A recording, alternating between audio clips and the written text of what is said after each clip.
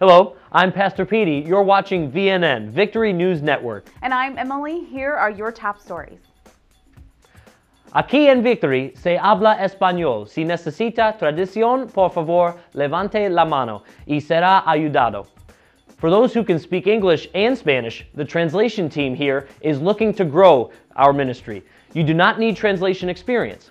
They are looking for people who truly want to serve, not only here at our church, but on occasions to travel with our missionary teams. So please sign up in the fellowship hall if you're interested in getting involved in this exciting ministry.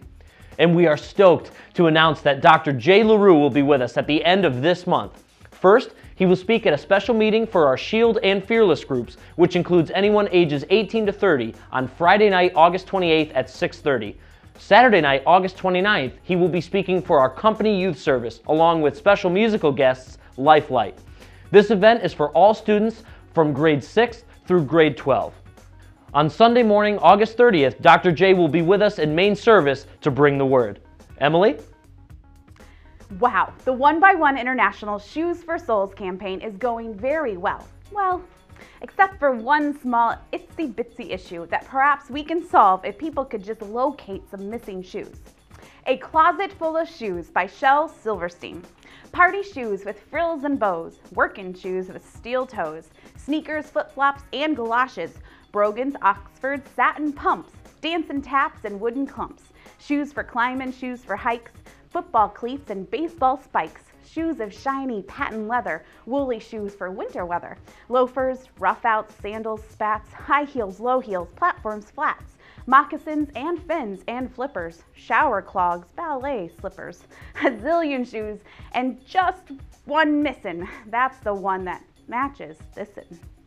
Thanks for helping us tremendously with this shoe campaign and remember we have until September 18th. Our target is 25,000 pairs of shoes. So far, we have collected around 100 bags. So keep asking those businesses, friends, and families members to clean out those closets. But make sure both shoes make it into our bin. Well, Family Fun Fest 2015 is history, folks.